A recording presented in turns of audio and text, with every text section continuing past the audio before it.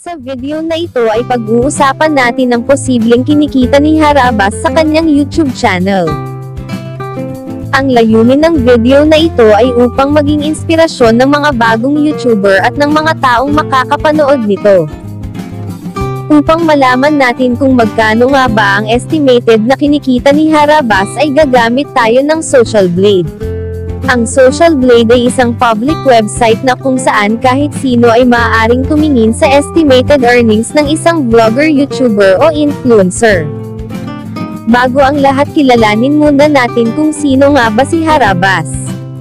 Si Harabas ay mas kilala sa pangalang Jeff. Nakakahanga ang kanyang simpleng buhay sa probinsya. Sa kanyang YouTube channel mapapanood natin ang buhay karagatan at ilog. Ipinapakita rin dito ang natatanging yaman ng probinsya ng Mindoro.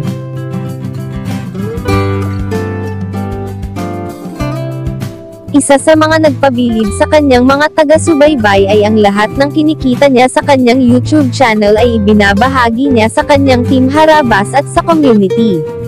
Lalo na sa mga paaralang higit na dapat suportahan at tulungan sa kanyang lugar. Halina't alamin na natin ang kanyang latest estimated earnings. Pandito na tayo sa social blade ni Harabas. Si Harabas ay may total of 455 uploaded videos. 687,000 subscribers. Video views of 178,289,276. Country is Philippines. Channel type is People. Channel was created June 8, 2019. Makikita natin dito sa baba ang kanyang total grade B+. Social Blade rank 8,736. Subscriber rank 39,493. Video views rank 54,910. Country rank 351st. At profile rank 4,957. Makikita natin sa kaliwa sa ibaba ng total grade.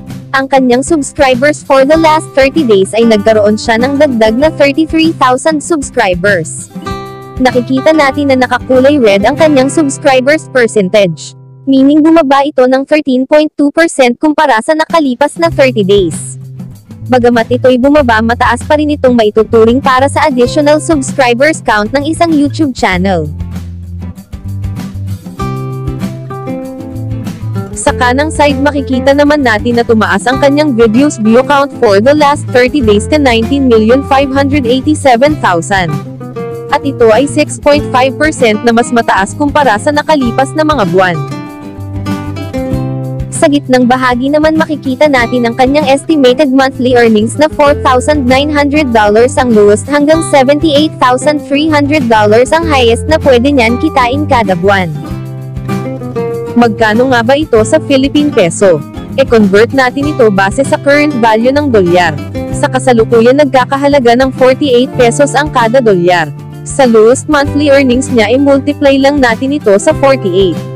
So 4,900 times 48. Mayroon siyang 235,200 pesos. E-compute naman natin ang kanyang highest monthly earnings. So 78,300 times 48 meron siyang highest estimated monthly earnings na 3,758,400 pesos. Wow na wow talaga. Harabas baka naman. Alamin naman natin kung magkano ang kanyang estimated yearly earnings. Sa kasalukuyan meron siyang $58,800 sa kanyang lowest yearly earnings. Hanggang $940,200 sa kanyang highest possible earnings kada taon. E-convert natin ang lowest at highest earnings ni Harabas kada taon base sa current dollar value na 48. Sa kanyang lowest possible earning meron siyang $58,800. So 58,800 times 48. Meron siyang tumataginting na 2,822,400 pesos. Alamin naman natin ang kanyang highest yearly earnings in peso. Sa kasalukuyan meron siyang highest possible earnings na $940,200. So 940,200 times 48. Meron siyang tumataginting na 45,129,600 pesos. Mapapasana all ka na lang talaga. Team Harabas baka pwedeng magpaampun na lang.